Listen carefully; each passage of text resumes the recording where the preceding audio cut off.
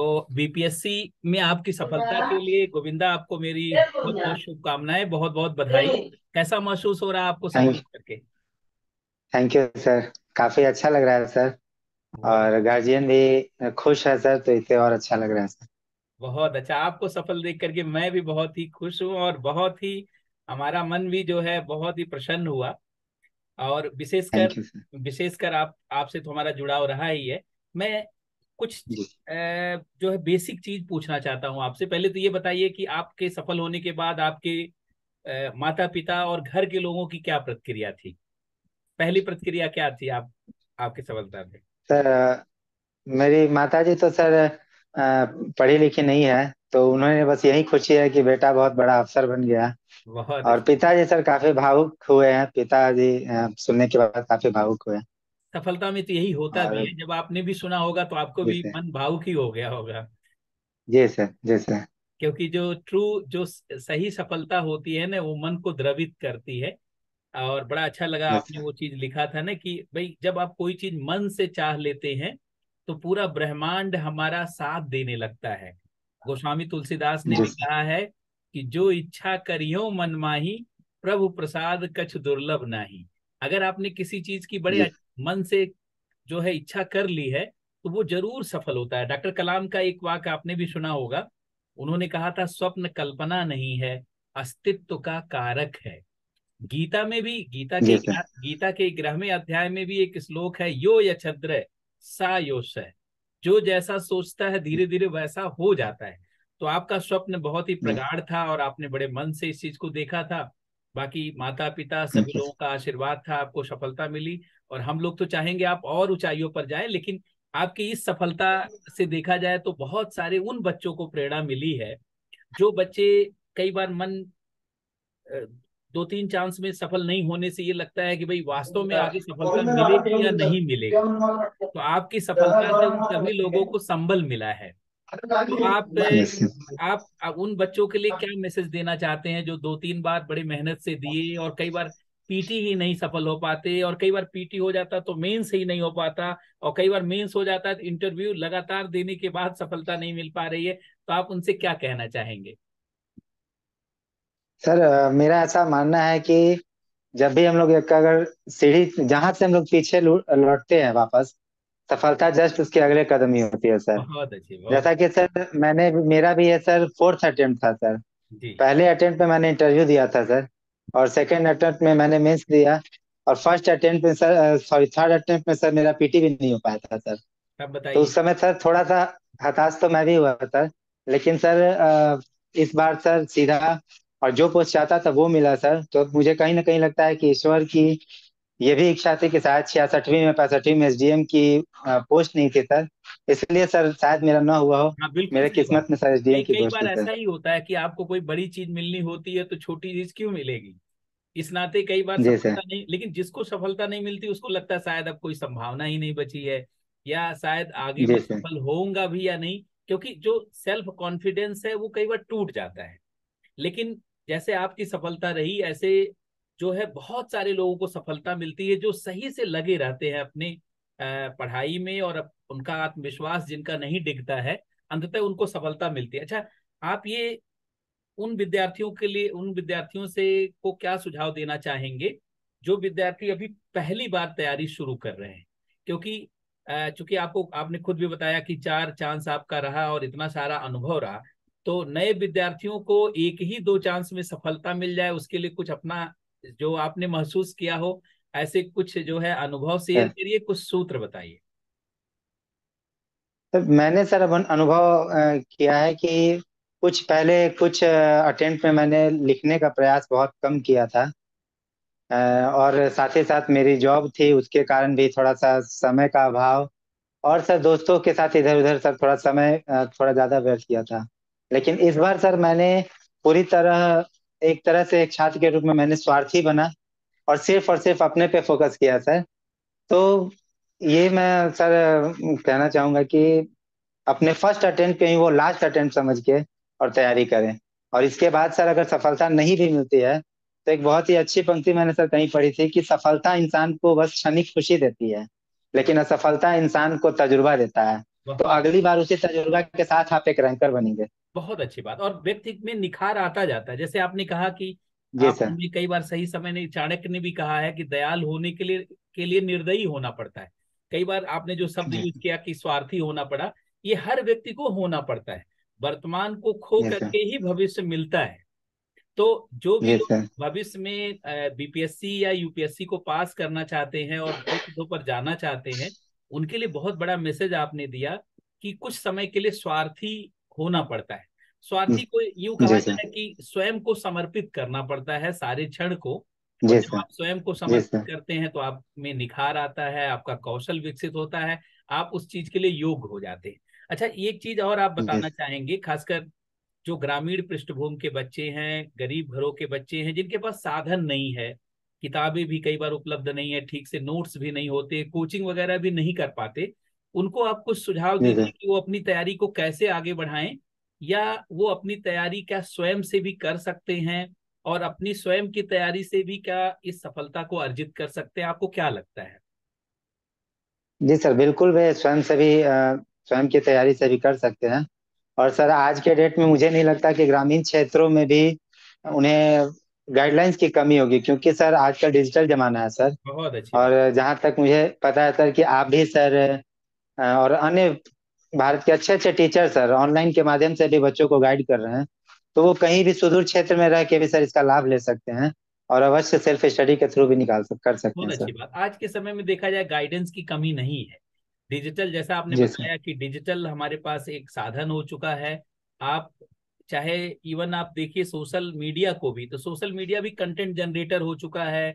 बहुत सारी जी strategies share हो रही है।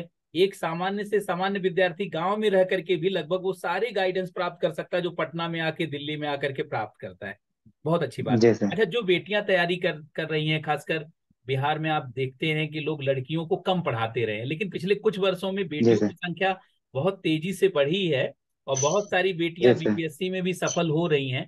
तो आप जो बेटियाँ हैं खासकर कई ऐसी भी बेटियाँ हैं जिनकी शादी भी हो चुकी है ससुराल जा चुकी हैं और वो भी पढ़ना चाहती है सर आगे बढ़ना चाहती हैं अपने जीवन को बदलना चाहती हैं। बिहार सरकार भी काफ़ी प्रयास कर रही है।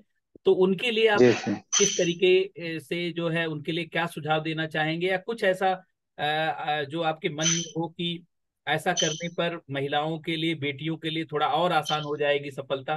तो अपने कुछ अनुभव आप बताइए जरा। सर इसके लिए तो हमारे माननीय मुख्यमंत्री जी का बहुत बहुत आभार है कि उन्होंने महिलाओं को विशेष रूप से प्रोत्साहन देने के लिए पैंतीस परसेंट आरक्षण दिया है।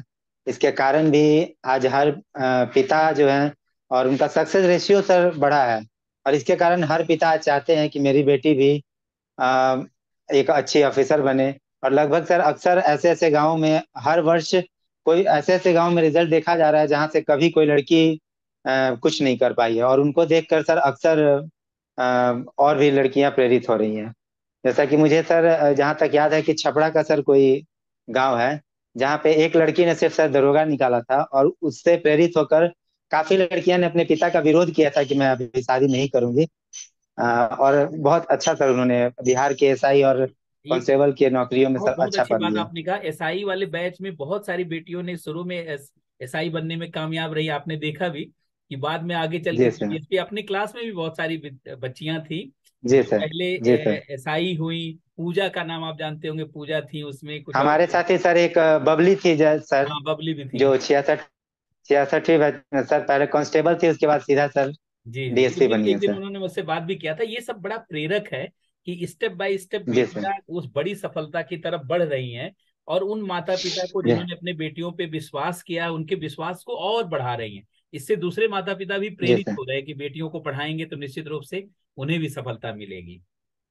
जी सर जी सर। अच्छा आप कुछ मैं चाहूँगा कि आप अपना पर्सनल जो है जो अनुभव आपने किया खासकर जीएस की तैयारी करते समय और ऑप्शनल की तैयारी करते समय या अब जो एसए का पेपर आ गया है इसके संबंध में आप क्या आपको अनुभव हुआ और क्या सुझाव देना चाहेंगे विद्यार्थियों को कि GS paper one GS paper two या एसए की तैयारी या ऑप्शनल भी अब क्वालिफाइंग भी है लेकिन फिर भी उसको कैसे ध्यान रखा जाए इसके संबंध में अपना कुछ सुझाव दीजिए अपने अनुभव साझा कीजिए।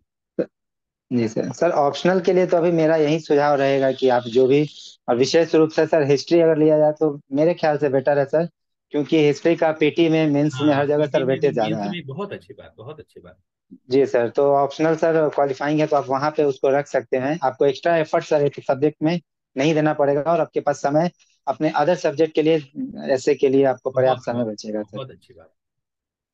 और जीएस पेपर इसके अलावा सर जीएस पेपर वन और टू में क्या स्ट्रेटजी आपने अपनाई?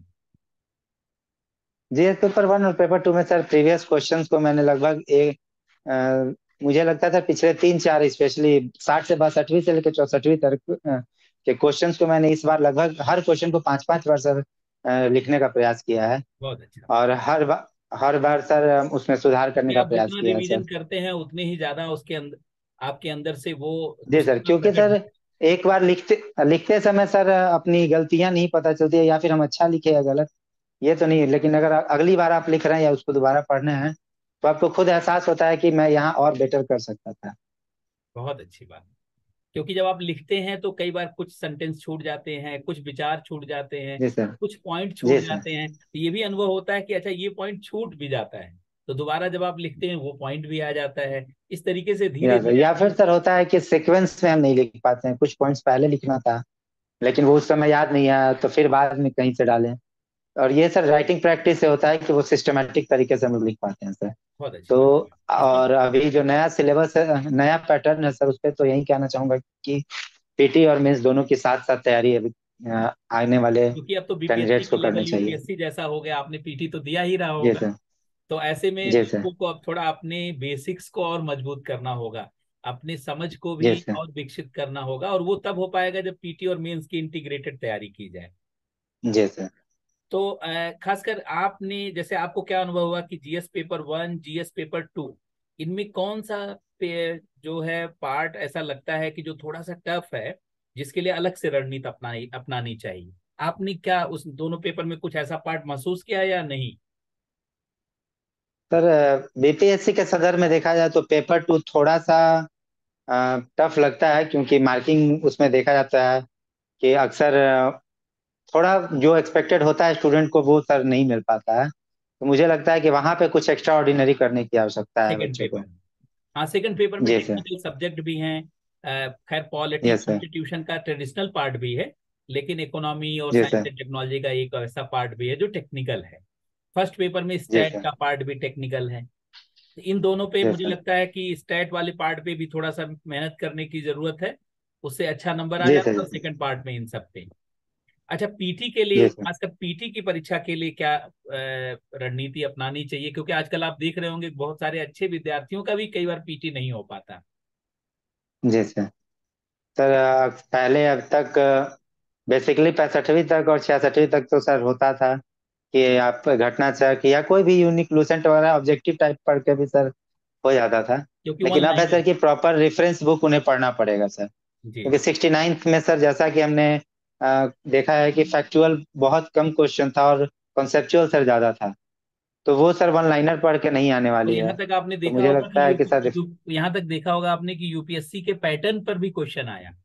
जी सर पीटी में साइंस एंड टेक्नोलॉजी के सवाल नहीं आते थे पहली बार साइंस एंड टेक्नोलॉजी के सवाल इकोनॉमी का जी सर इकोनॉमी के इकोनॉमी का भी वेटेज सर बढ़ाया है। हाँ बढ़ाया और गहरे प्रश्न भी पूछे गए। खैर बीपीएससी के पहले भी कह रहे थे। कि वो प्रश्न कुछ गहरे प्रश्न पूछेंगे ताकि अच्छे अधिकारी मिल सके बीपीएससी को भी और बिहार के प्रशासन में बड़ा बदलाव ला सके। खैर ये अच्छा प्रयास है लेकिन इसके लिए विद्यार्थियों को परंपरागत तैयारी छोड़ करके उस लेवल पर अपने ला, आपको लाना होगा ताकि जो कंसेप्चुअल है उसकी उन्हें समझ हो सके और उसकी तैयारी करने में उनको आसानी हो सके तभी क्वेश्चन को पकड़ पाएँगे।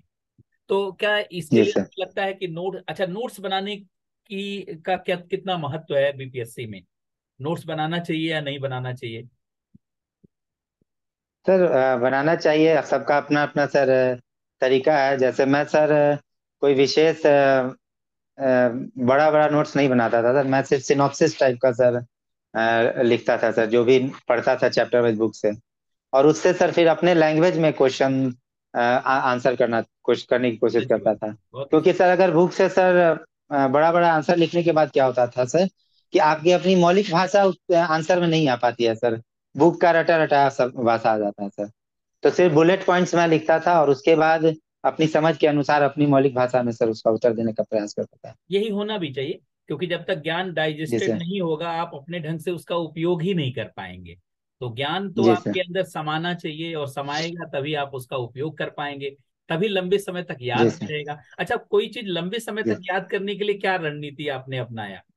कि वो आपको याद रहे और हमेशा जो है आपके काम आए। सर इसका बड़ा अच्छा सर आज ही मुझसे मेरे एक जूनियर्स ने पूछा है सर हाँ। कि आ, सर भैया मैं बार बार भूल जाता हूँ। मैंने उससे सर एक ही सवाल पूछा है कि क्या आप क ख ग और एबीसीडी भूल गए हैं? मैं उन्होंने बोला नहीं मैंने पूछा क्यों? तो बोले कि सर अक्सर आँखों के सामने आता है। हमेशा यूज़ में आता है। तो मैंने वही उन्हें बोला कि बस इसी तरह अक्सर प्रैक्टिस कीजिए। हर चैप्टर को एक महीने दो महीने के अंतराल पे उसको रिवीजन करते रहिए। और बस रिवीजन ही सर भूल ना भूलने के लिए। है अदरवाइज़ हम किसी चीज़ का रिवीजन कर दे। हमने फिफ्थ क्लास में सर क्या पढ़ा था आज भी भूल गए हैं सर। लेकिन जो चीज़ हम आज भी यूज़ कर रहे हैं वो नहीं भूले सर।